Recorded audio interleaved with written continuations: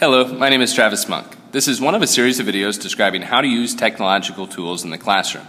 In this video, I will provide a brief overview of Dropbox, a website that millions of people use every day to store and backup files online. Within this video, I will provide you an overview of the free service, some specific ways that we will use it in class this year, advantages of Dropbox over similar services, how to sign up, and ways to maximize what you get for free. Dropbox is a free cloud storage service. What this means is that all the information that you would typically store on your computer's hard drive is stored online in the cloud. In addition to storing information on the cloud, Dropbox is a tool that can also synchronize data from one device to another. As the picture on this slide shows, you can keep in sync your Windows phone or your iPhone with your Linux or Mac or Windows computer. Any piece of information that I have stored on my computer at home, I could immediately pull up on my iPad if I were interested, even though I don't have that document stored on my iPad's hard drive. On the next few slides, what I'll do is go through some specific uses for Dropbox. The first one of these is to back up your files. Nothing beats having physical backups of your hard drives that are kept in a separate, safe location. The problem is that most people don't do that. They don't back up their files at all or often enough. While the cartoon below might make light of the situation, horrible things can happen to your electronic devices. Your home might start on fire and destroy your computer and your backup if you even bother to make one. Your computer might die, and even if you can recover any data from that computer, it might end up costing you hundreds of dollars. Dropbox automatically backs up your files when you save them to your computer in a different location. The great news is that you don't have to remember to do anything at all. It does it in the background uh, without any thought on your behalf. Another use for Dropbox is keeping your files in sync. I personally have a computer at home, a computer at work, and a tablet that I use every single day. I don't want to have to lug my work computer home to finish things, and I'd rather not worry about saving something to a flash drive because that's pretty inconvenient.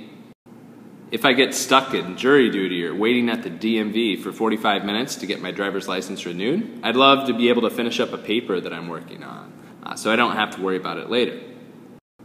When you use Dropbox, almost the second that you hit the save button on your computer, all those files are updated in the cloud, as shown in the picture provided here. With Dropbox, you don't need to bother bringing your work computer home because the file that you just saved at work is sitting at home waiting for you. You can make use of those otherwise wasted minutes at the DMV. Within a few taps, I can pull up the documents that I'm interested in on my tablet so I can try to type on it. Dropbox can also be used as a wonderful tool to collaborate with others. My wife and I keep everything from our budget to our grocery list on Dropbox. If I decided that I wanted to add a 12 pack of Diet Dr. Pepper to my grocery list, we'd both have it on our grocery list by the time that we go shopping next. I've also shared information with coworkers this way. As shown in the picture provided above, you can share folders with others or you can even share links to folders with others. You can use this as a means to send other people information or to work collaboratively on the same files as you would during group work. You don't need to be in the same room or even the same state to work collaboratively in this way.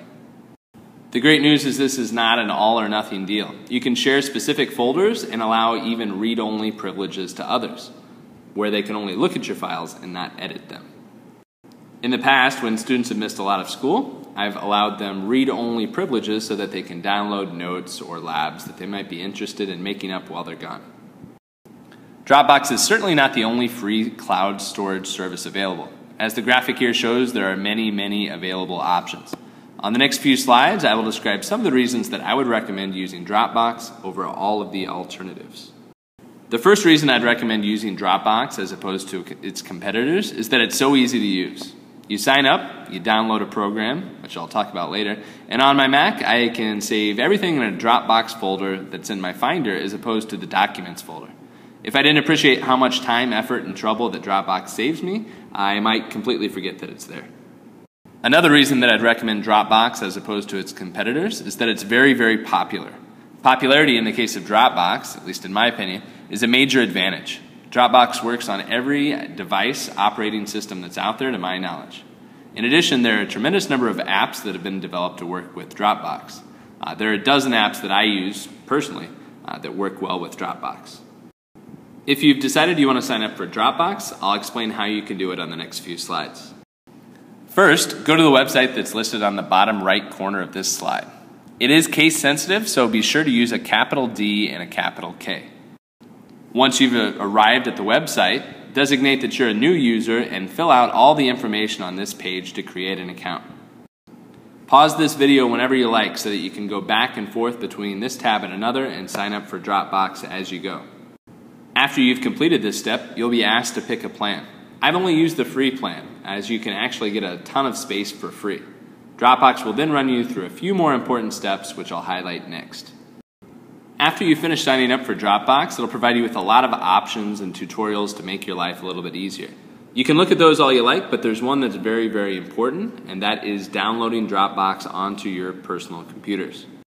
Using Dropbox through the website itself works reasonably well, and it'll allow you to access files on any computer that's connected to the internet.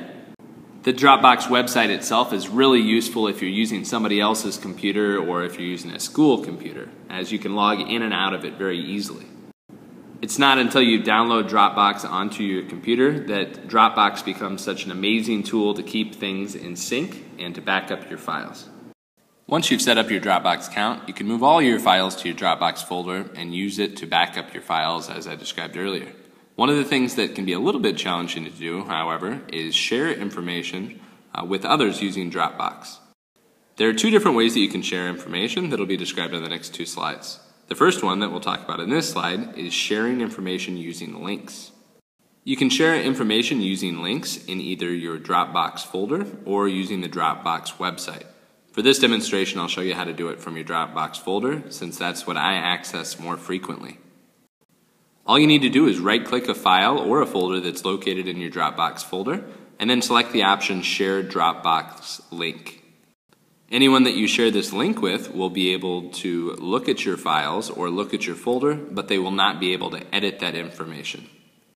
If you would like others to be able to edit information located within a Dropbox folder, a better option is to go to the Dropbox website to right click on a folder that you want to share with others and click Invite to Folder as shown here. One thing worth noting is that if someone else that is invited to your folder opts to delete information within that folder, uh, it can disappear forever. There is a time period in which you can go back and recover this information, uh, but it doesn't always work. When you sign up for Dropbox, you're given two free gigabytes of space. While two gigabytes is a reasonable amount of space if you're just storing PowerPoint, Word, or Excel files, uh, it seems pretty small if you're storing videos, songs, or pictures.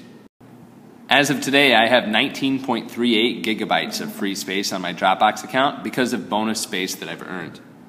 The picture provided on this slide highlights some of the different ways that you can earn bonus space. You can pick and choose whatever you like. If you really want to earn more space and you're willing to spend some time, referring others to Dropbox can earn you even more space. I've referred dozens of people to Dropbox because of how useful I found it to be and each person that signed up using my link that I provided on a previous slide has earned me 500 megabytes of space apiece. If you can't find a way to earn enough free space to store all of your stuff, you can always purchase one of the plans that Dropbox offers. Thank you for watching this video outlining how to most effectively use Dropbox to keep your files in sync.